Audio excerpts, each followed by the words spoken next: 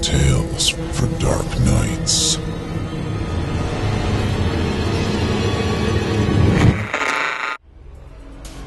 The following performance is a first round entry in the Evil Idol competition, in which the winner of the contest will become a permanent member of the Chilling Tales for Dark Nights voice acting team. Listen to the entire performance, and if you'd like to see this particular contestant advance to the second round, which begins August 1st, simply click the thumbs up icon to vote in their favor. If you don't care for the performance, click the thumbs down icon instead. Thanks for listening and for participating, and good luck to all of our first round contestants.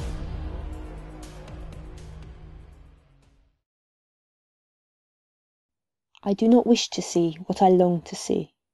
Written by D.G. Collins. Performed by Fleur Willis for the Chilling Tales for Dark Nights in the Evil Idol competition. At first, I was afraid it was happening only to me. When you wake up to find yourself alone in a world without people, you can't help wondering if you're dead.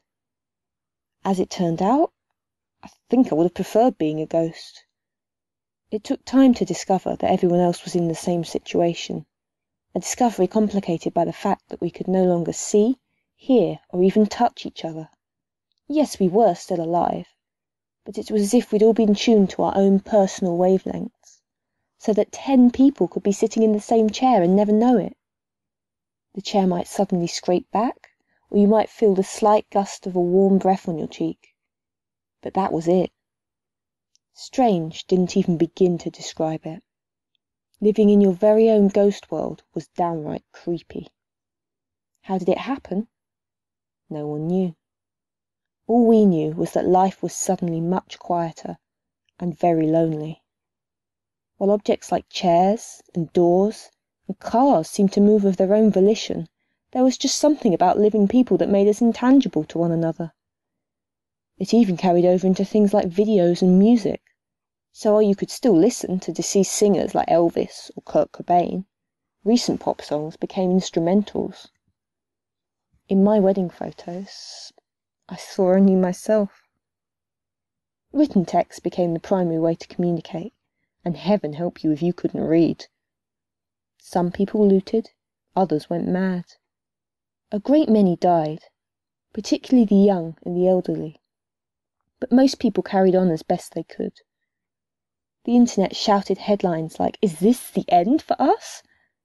And for once, their scare tactics had a point. Awkward methods were devised to keep conceiving children, but when the baby arrived and no one could touch the child to care for it, what then? But that's the big picture. None of that is my concern at the moment.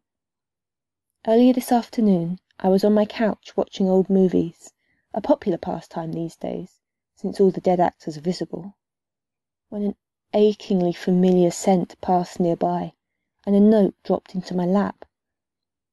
Now the whole house is covered in sticky notes. Every room is wallpapered with those little yellow squares because it's the only way I can think of to scream out loud and still be heard in this quiet world. They all have one word written on them No! They are my response to the notes I was given. My love, I cannot live like this. You will see me soon. Thanks for listening. If you haven't already, don't forget to cast your vote for this contestant via a thumbs up or a thumbs down. Thanks for voting and for spreading the word about Chilling Tales for Dark Nights and our first ever Evil Idol competition. Tune in August 1st, 2016 for the start of round two. Chilling tales for dark nights.